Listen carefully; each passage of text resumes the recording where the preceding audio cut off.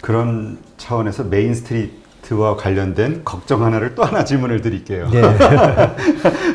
이렇게 뵀을 때 네. 질문을 드려야지.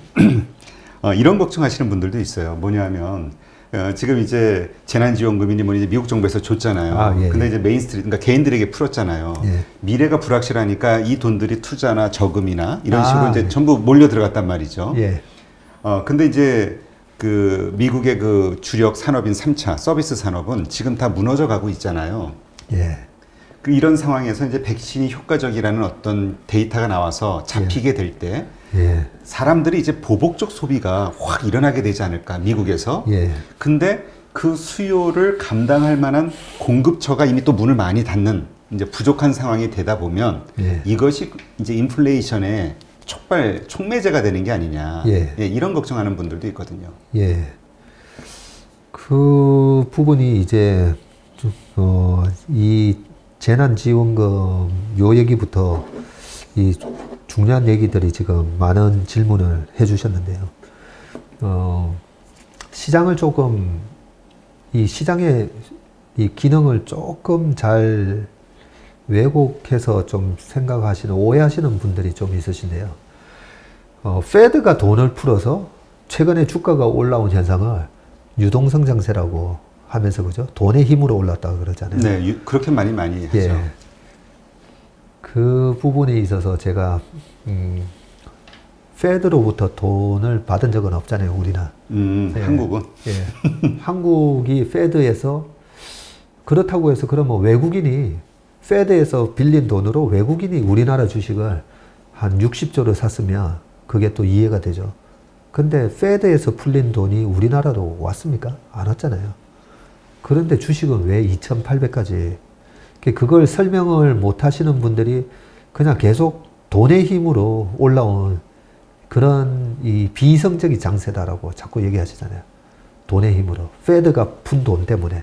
그래서 페드가 재난지원금을 3조가 아니라 1조만 준다든지 아니면 페드가 이제는 돈 푸는 걸 멈추면 주가가 또 빠질 거다. 네, 그런 얘기 많이 나오죠. 이런 여기 엄청 많았죠.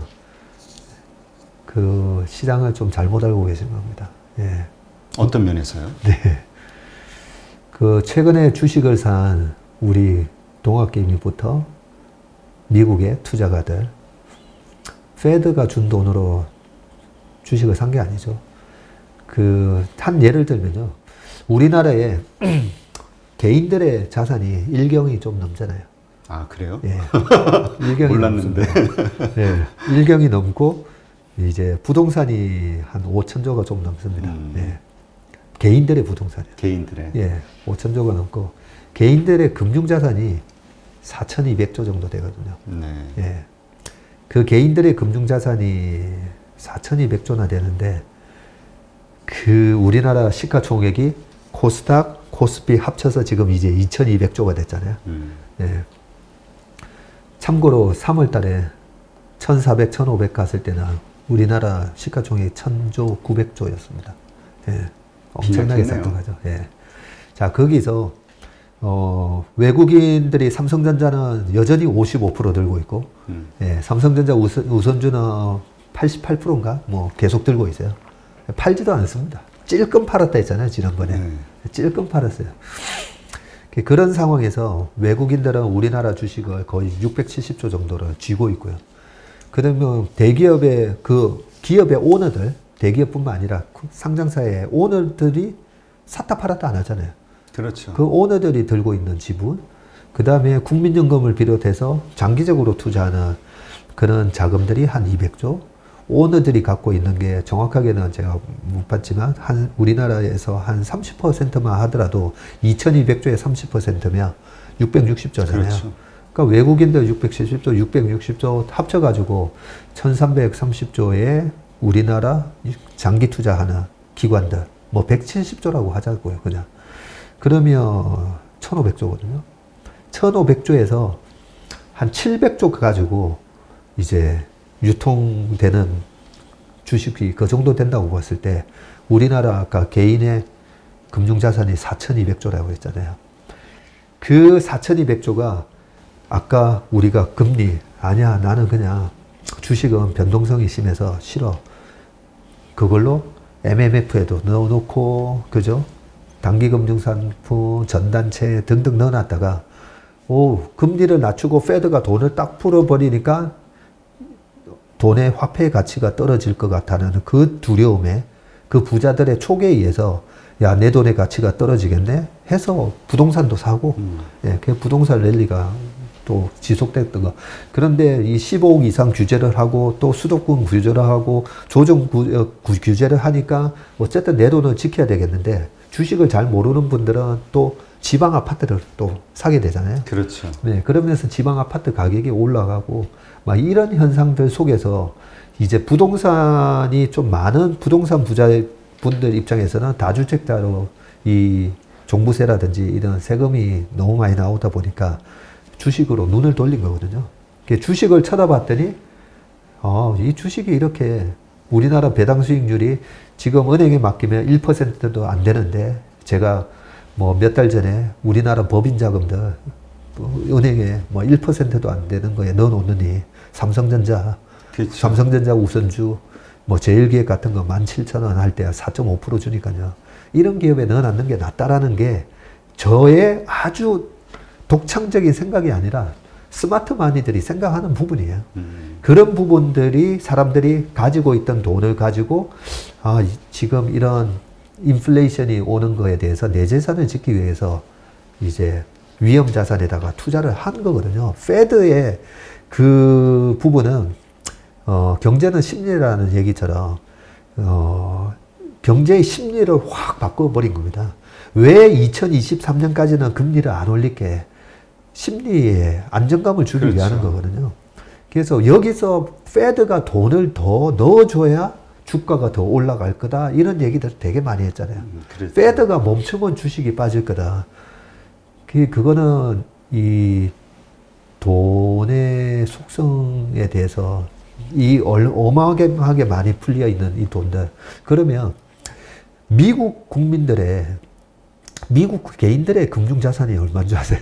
참고로 미국의 GDP가 한 21조 달러 하잖아요. 네. 21조 달러고 미국의 시가총액이 이제 30조 달러 정도 하면 GDP 대비해서 한 150%이기 때문에 제가 버핏 지수가 이제 뭐 목에 찼다 이런 말씀도 드리는데 미국의 S&P 500을 비롯한 전체 미국 시장의 시가총액이 지금 35조 달러 정도 네, 그렇게 되는데 미국 개인들의 금융자산이 얼마냐면요. 90조 달러가 넘습니다. 아, 그래요? 예, 미국 기업들이 아니라 개인들의 금융자산. 꽤 되는 거죠, 이게? 엄청난 거죠. 음. 그게 페드가 돈을 주고 안 주고가 아니라 심리를 바꿔버리는 겁니다. 예. 음. 그런 측면에서 심리를 바꾸는데 가장 큰 역할이 뭐냐면 금리죠. 금리를 확 낮춰버리니까 우리나라 시중은행부터 미국의 시중금리가 1% 미만으로 떨어지고 미국의 국채 금리가 0.6, 0.5까지 빠지고 그 가운데서 이제 돈이 원리가 작동을 하면서 아 지금 여기서 은행에 내가 안전하게 은행에다가 돈 넣어놓는 것보다 위험자산에다가 투자를 해야 되겠구나 심리를 바꿔놓는 거거든요. 그래서 이 부분을 이해를 하지 못하는 분들은 이게 그렇다고 해서 이 부분을 아는 사람이 그렇게 많지도 않다고 생각합니다. 왜냐하면 아이작 뉴턴이나 아인슈타인처럼 천재들이잖아요. 그 천재들이 주식에서 왜 실패했을까라고 보면 이 경제는 심리다라는 걸 저는 이해를 못했다라고 생각하거든요. 그래서 주식으로 성공한 두 천재와 주식으로 실패한 두 천재가 있다라고 저는 보는데 주식으로 성공한 두 천재는 피트린즈하고 이 케인즈라고 보면 케인즈가 그런 얘기를 했다잖아. 주식은 미인대라고. 내가 좋아하는 주식을 사는 게 아니라 대회라는 거죠. 대중들이 지금은 예, 어디에 어디에다가 성장성의 매력을 느끼면서 투자를 하는지를 보면서 해야 된다라고 케인즈가 얘기했을 때, 아, 저 사람은 대중 심리를 알고 있었구나. 피트린즈가 칵테일 파티 얘기했다 했잖아요. 아, 많은 사람들이 나한테 몰려왔을 때 시장이 이제 쏠림이 심한 그런 상태구나. 대중의 심리를 알았다는 거랑 심리를 모르고 과학적으로만. 그래서 계량적으로 주식을 한다는 게 굉장히 어려운 겁니다. 음. 왜냐하면 이 경제는 어마어마하게 내 심리도 알아야 되고 이 대중의 심리도 알아야 되고 그 심리를 바꾸는 정책자들의 패드의 의도를 또 읽어야 되거든요. 음, 그러게요. 그러니까 말씀대로 어, 올해 많은 그 전문가분들이 좀 예상이 좀 어긋났죠. 근데 이렇게 다시 이제 복귀하면서 말씀들을 나누면서 그런 질문들을 좀 드려보면 동의를 하시더라고요. 그러니까 뭐냐면 사람들이 가지고 있는 욕심, 예. 그 욕심의 크기, 예. 이거를 좀 잘 생각을 못했던 거 아닌가. 네. 그래서 저는 뭐 많은 비관론자분들의 데이터들을 저는 굉장히 감사하게 봅니다. 네. 네. 그분들이 경계의 목소리를 얘기해 주시고 그분들의 데이터를 통해서 아 우리 시장이 지금 적정 수준인지 아닌지 어, 그런 계량적인 부분 네, 그분들의 도움들을 굉장히 많이 받고요. 단지 이제 제가 조금 다르게 봤던 부분은 시장에 작용을 하는 그런 심리를 어, 조금 제가 조금 그나마 다른 분들보다 좀 빨리 읽었다라는 생각이고요. 그런 부분이 내년에 어, 이 심리가 어떻게 꺾이는지 그 금리 수준에 따라서 이제 좀 판단을 해야 되거든요. 그래서 지금 내년 시장이 어느 정도까지 갈 것 같습니까? 라는 질문에 저는 대답을 안 할 겁니다.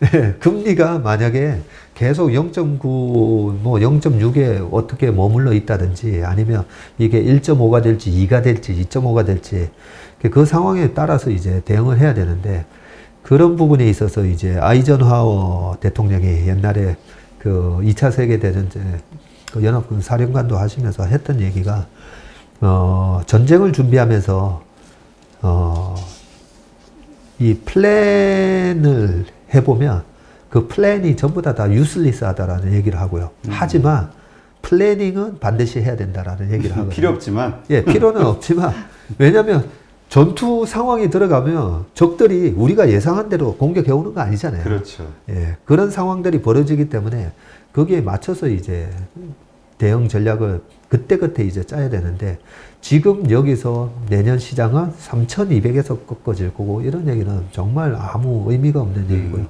그래서 그런 부분들은 제가 뭐 기회가 될 때마다 이 변곡점이 아 이 부분에서는 좀 조심해야 되는데 아니면 지금은 또 제가 이제 항상 시장이 이렇게 폭락할 때 잘 나왔잖아요.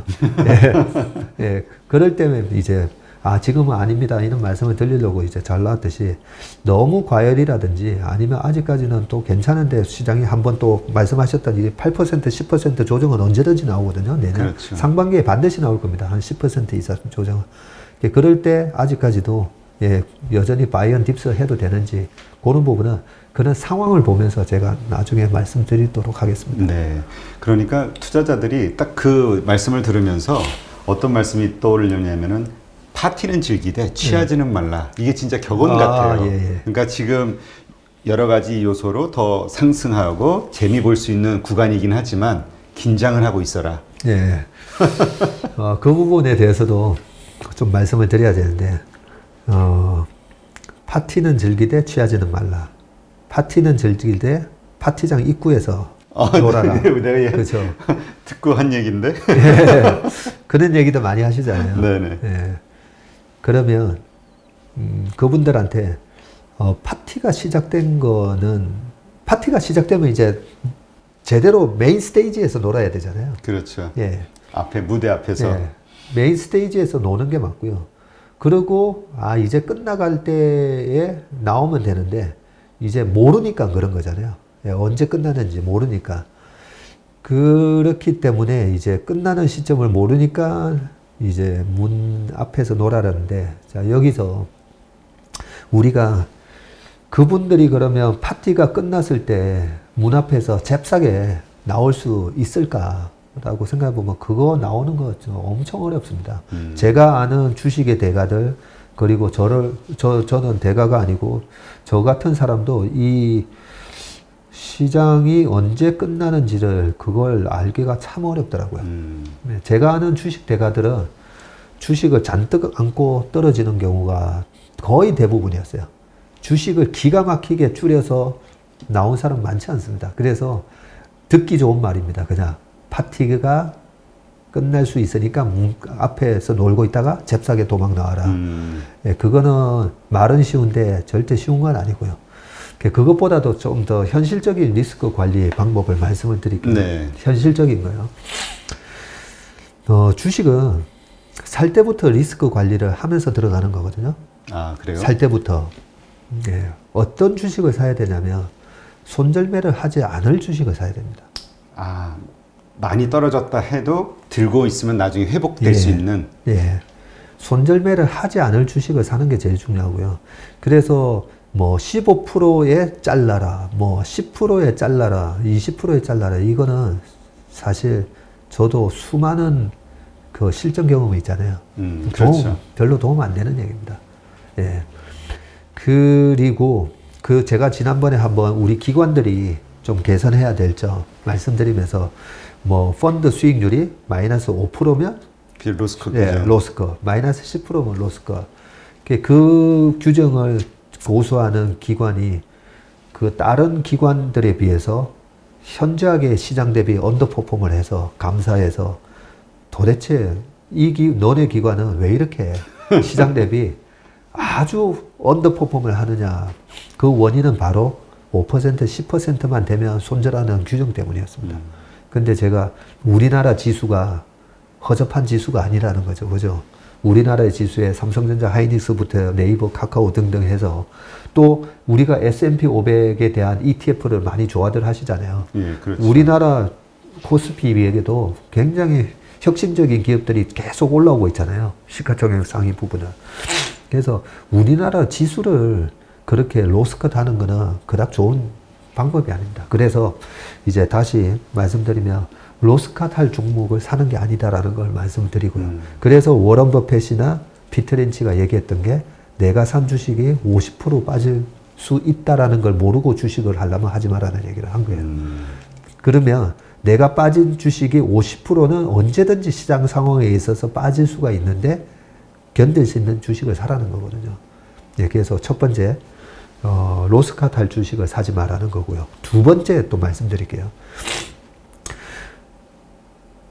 만약에 시장 상황이 어떻든 어, 우리가 후퇴를 해야 될 상황이 생겼다 치자고요. 네. 네. 그 후퇴가 돼야 될 상황은 어떤 상황이냐면 개인적으로 돈이 급한 상황이에요. 음. 그런 부분도 많이 얘기를 하십니다. 내년에 제가 쓸 돈이 좀 있는데 지금 주식을 해서 내년에 5월달, 11월달에 써야 되는데 괜찮나요? 이런 질문도 많이 하시거든요. 그러니까 단기적으로 제가 반드시 벌 수 있습니다. 이런 얘기는 하지는 못하지만 그 내가 써야 될 때 황금성이 있어야 되거든요. 그렇죠. 자 여기서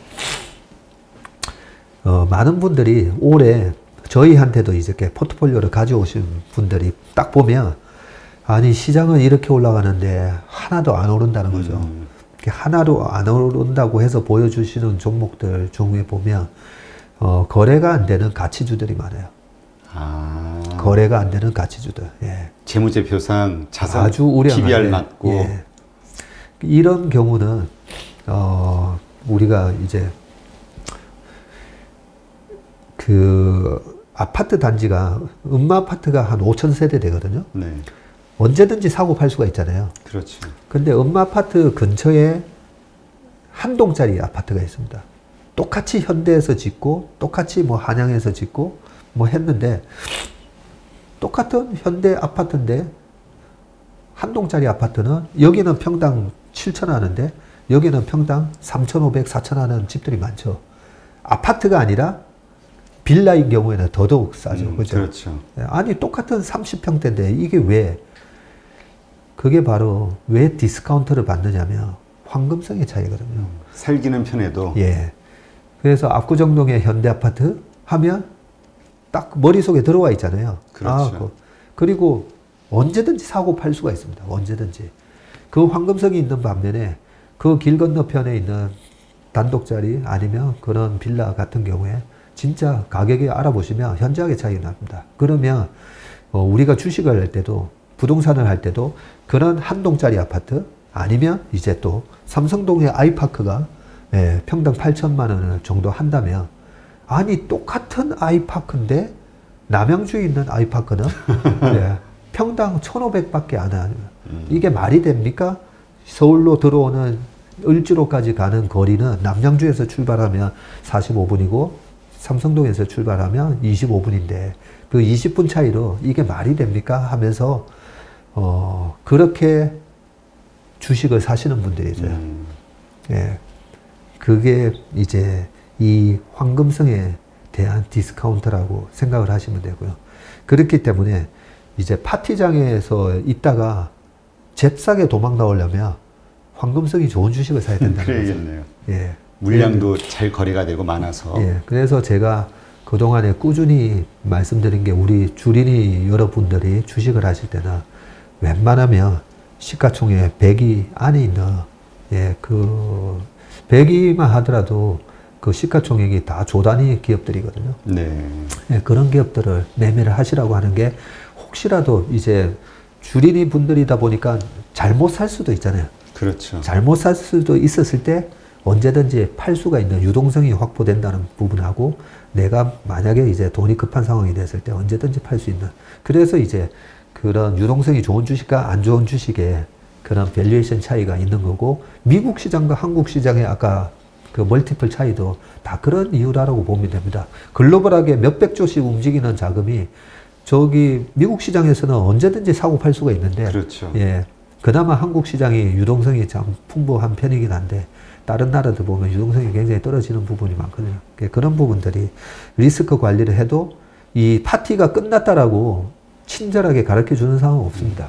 예. 우리가 사실은 파티를 파티장에 안에 있어도 파티가 끝난지 안 끝났는지 우리는 사실은 모른다라고 생각을 해야 되네요. 예, 예, 일단 그 뭔가 사건이 터져가지고 그냥 아내가 소란해져야 아 끝났나 보다. 예. 예. 약간 늦은 타이밍에 이제 알게 되는 맞습니다. 거라고 얘기 생각을 해야겠네요. 예.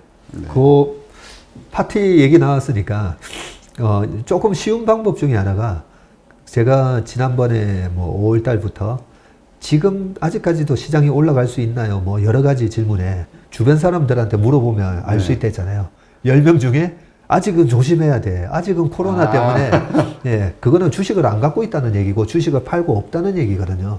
그런 얘기들이 난무했을 때는 아, 아직까지는 파티장에 두세 명밖에 안 들어온 거예요. 음. 예.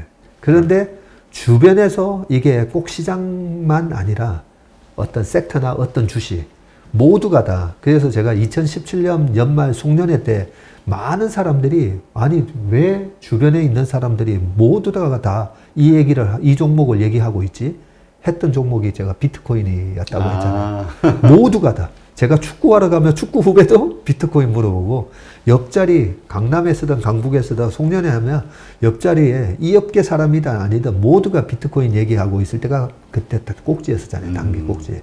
네, 그런 것처럼 우리가 어느 정도 이게 파티가 끝물인지 아닌지는 시그널은 어느 정도 찾을 수는 있습니다. 음. 그 찾을 수가 있는 게 어떤 주식을 지금 가지고 계신데 그 주식에 대해서 모두가 확신을 갖고 있으면 좀 조심하셔야 됩니다. 그거는 음. 예, 파티가 끝났고 어떻게 연상을 하시면 되냐면 어, 제가 처음에 입사했을 때 주식의 고수분이 남의 잔치에 가서 먹을 생각하지 마라 이런 말도 하셨다고 했는데 잔치집에 우리가 갔다고 한번 생각해 보시면 네. 예, 소문난 잔치에 먹을 거 없다라고 하잖아요. 그러니까 실제로 그래요. 소문나서 사람들이 빠글빠글하는 잔치집에 가서 예, 거기에 미리 들어와서 먹었던 사람은 아 나 이제 갈게 하고 먼저 갔는데 가장 뒤에 들어온 사람은 사람은 많은데 보면 먹을 건 없고요. 음. 사람들이 떠나잖아요. 그러면 먹지도 못 먹지는 못하고 설거지해야 돼요. 네. 네. 그래서 뭐 설거지 당한다 이런 표현도 뭐 주식시장에 있긴 한데 네. 먹지는 못하고 사람들이 다 떠나고 주인장이 잡는 거죠. 설거지는 하고 가야지 하면서 그런 상황이 생길 수가 있기 때문에 주변에 10명 중에 이 주식이, 이 주식에 대해서는 모두가 다 컨빅션을 가지고 막 얘기를 하는 그런 주식이 있다든지 아니면 주식 시장에 비관론자가 다 사라지고 이제는 예, 경기가 어떻게 좋아졌고 여러 가지 이유로 주식을 반드시 해야 된다는 이런 얘기들이 난무할 때가 또 주변에서 주식으로 자랑하는 사람들이 엄청 많아요. 예, 그게 자랑이 지금은 보면 제가 이래 상담을 해보면 어, 한 8%, 15%좀 벌었다는 사람이 한 그 정도 수준밖에 안 돼요. 연초 대비. 예, 그렇기 때문에 끝물에서는 어, 우리가 뭐 아파트도 보면 얼마에 샀는데 아파트가 뭐 얼마가 됐다 엄청나게 얘기가 많이 돌잖아요. 그런 것처럼 주식도 와 엄청 부럽고 엄청 질투가 나는 수준까지 얘기가 막 난무해야 돼요. 그 얘도 벌고 쟤도 벌고 얘도 벌고 예. 다 벌었다 예. 주변에 그때가 이제 파티가 끝날 때다. 그래서 내가 아, 들어가야겠다 빨리 나오셔야 돼요. 안. 그러면 설거지하고 나오셔야 돼요. 네 하여튼 뭐 이런 식으로 우리가 그 자기가 어느 위치에 서 있는지를 한번 점검해 보는 거 생각해 보는 것도 재미있으면서도 또 시기 적절하겠네요 네. 네 알겠습니다.